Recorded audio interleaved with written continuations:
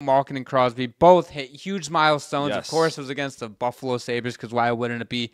Crosby with the 1600 point. Malkin was his 500th career goal. And it's crazy because that Malkin goal was actually kind of sick. I'm not going to lie. The Malkin's second been opportunity. awesome to start He's been great. 11 points through what the first five, six games that he's played so no, he's far. He's been really good. Crosby's been good as well. I think this Penguins team now, Tristan Jarry has been complete ass. They have four more yeah, years of that five and a half million dollar Yeah, contract. I don't However, think though, you can go forward with him as the starter. Blomqvist is phenomenal. And Nedeljkovic is coming back too. They Yes. just recalled him, so this this is where you're in a tough spot as the Penguins because you could ride with the Blomqvist and Delkovich tandem if Jarry wasn't making this so much money. if Blomqvist and you know Nedeljkovic comes back and he you know he plays like he did last year at the end of the year, do you just bury Jarry in the minors? Does he? I I mean, mean, you- no one would claim him off of waivers. I wanna. I'm. Hold on, Jarry. Um. I don't even know where to go. Like I know where to go. Okay, Puckpedia here. So I'm looking at where is it? Where is it? Where is it? Like kind of similar to what you know Edmonton did with with uh Jack Campbell. Yeah. they just buried him in the minors. I mean, no one's gonna claim that contract unless a team really needs a goalie. But you know, at this point, I think Jarry might be hurting the Penguins more than Jarry he's is. helping them. Jar- he's not good. I'm sorry. He, he's. So if he went to the minors, he'd be making. He'd be 6.8 according to Puckpedia. His cap hit would be 5.3. Oh, the cap hit doesn't go away. But No. it just it would free up a roster spot for Pittsburgh to have someone like instead of having to carry three goalies, like if they don't trust him and he's not going to play, or maybe just you try to send a message and try to help him get his game back.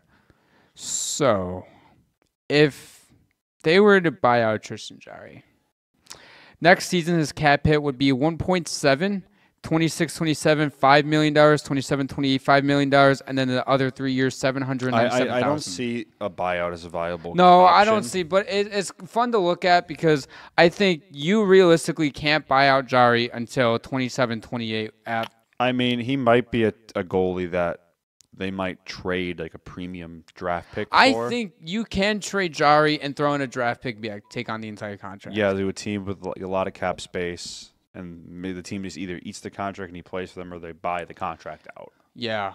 I mean, I don't know what teams off the top of my head that really would be viable for it, but listen. Or just find a team that like maybe eat half the salary and to give him like a second round pick.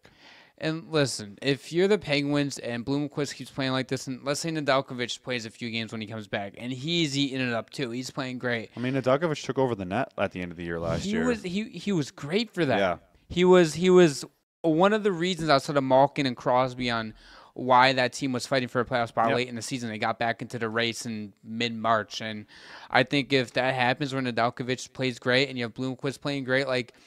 Do you you either a like you say you waive Jarry and he goes to the minors because nobody's going to pick up that contract? I highly doubt it. Mm-hmm. no, not with the Um, way he's been playing. Exactly. Um, and two, or you say screw it, you waste the goddamn roster spot on a third goaltender, and you say, well, we'll play Jarry here and there, and then we'll play Nedeljkovic and Blomqvist I think the, the the most realistic option is just finding a team to eat the contract. Mm-hmm. I mean, you know, even if they retain half the contract, I think that's still worth it for them. like I think this team could barely sneak into the playoffs if they have pretty decent goaltending. At least how they're playing up front right now. I mean, I they, they rely a lot on you know Crosby and Malkin still, and It's kind of scary.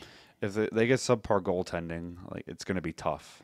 It's gonna be really tough. And even if this team did make the playoffs, I don't see them doing anything past the first round. So I will say Crosby, Malkin are reaching these milestones. I we're seeing greatness. Oh, we, we yeah. already we already see it with Ovi. We've now we're seeing it with Crosby and Malkin too. Like you know, it is kind of bittersweet seeing like these legends like in the twilights of this career because I mean they've been in the NHL for like as long as I've been watching hockey. Mm-hmm. So you know it, it is kind of tough seeing these players get older. I mean I'm glad they're still performing at a high level, but you know Malkin's 38, Crosby's 37. Like realistically, maybe you know two three years left for Malkin, three four left for Crosby. So like. We're getting pretty close to the end, and I'm, I'm glad they're still fun to watch. The Sid still looks like his old self. He's not as fast as he used to be, but he's Mm-hmm. still quick. He can still score. He can still do everything in the ice. He still owns the Buffalo Sabres. So. Of course. I the passion from these two is unmatched. I mean, we saw it against Buffalo when when they went down four one. You they panned to the bench and Malkin screaming his ass off, and guess what? They come back, win in overtime. Yeah, I mean there was a good moment too in that game. I don't. Well, they, I think it was three to one. I don't think it was four to one, where uh, they scored a shorthanded goal to make it three and two. Like Crosby and Malkin are like hugging each other on the bench. Mhm. Like they still care a lot about winning. So as I mean, they're playing like they still really have a good passion and. You know, Pittsburgh, it's a tough spot for Pittsburgh because, you know, you'd love to get those two guys one more cup, but just with the way the rest of the roster's built, I, I just don't see how that happens.